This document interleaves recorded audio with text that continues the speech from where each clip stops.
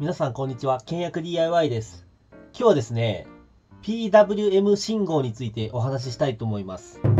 よくですね、フラッシュライトの明るさを調整するのに使われるんですけど、僕自身も素人なんでものすごくざっくりとした説明しかできないんですけど、今回 DIY で PWM 信号を出す回路を作ってみたんで、簡単にご説明してみたいと思います。PWM っていうのは何のことかと言いますと、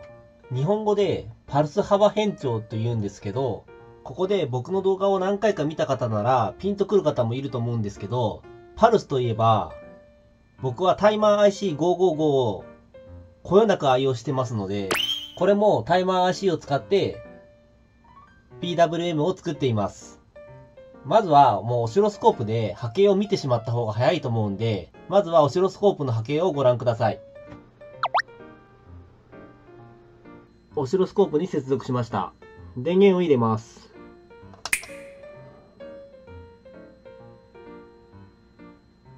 はい、このように一定の周波数でパルスが出ています。124Hz ぐらいのパルスが出ています。今回は細かい回路等は割愛したいと思うんですけど、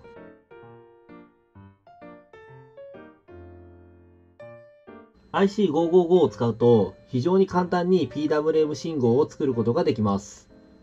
PWM 信号っていうのはこのパルスですね。オンとオフの比率、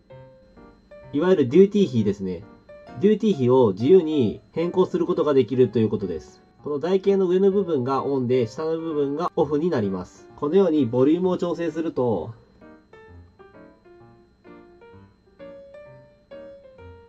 これが100%オンになっている状態で、これでどんどんオフの割合が増えていきます。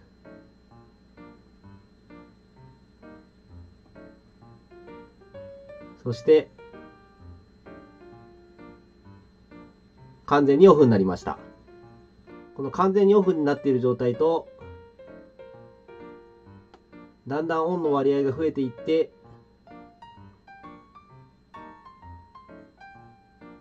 最後すべてオンになる。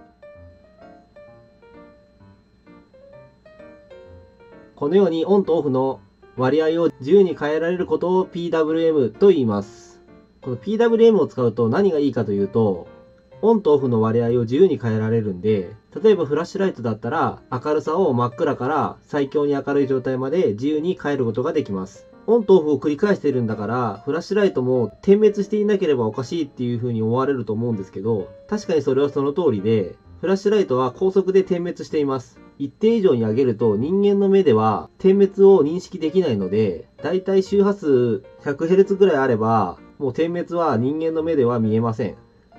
なので単純に暗くなったり明るくなったりしているように感じます。もう一つ、PWM 信号が優れている点として、すごい省エネっていうことですね。例えば、フラッシュライトだったら、明るさを減らそうと思ったら、制限抵抗を増やせば、電流がその分減るので、暗くなるんですけど、抵抗をかませる場合、抵抗で電気を食われてしまうので、効率が良くないです。それが、この PWM では、このオシロスコープを見ていただければわかる通り、オフになっている時は、電力を消費しません。単純に、オンの時だけ電気を使っているので、抵抗をかませる方式よりも、効率がすごく良くなります。実際に LED をつないでみました。これで試してみたいと思います。電源を入れます。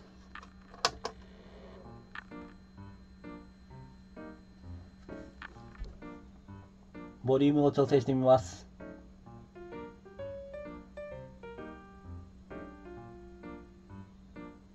これがマックスですね。明るさ変えていきます。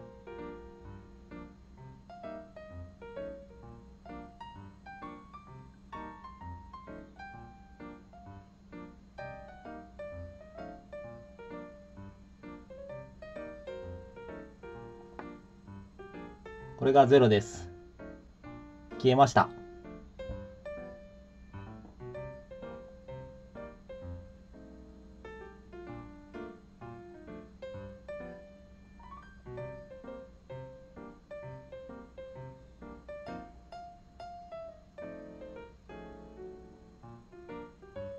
このように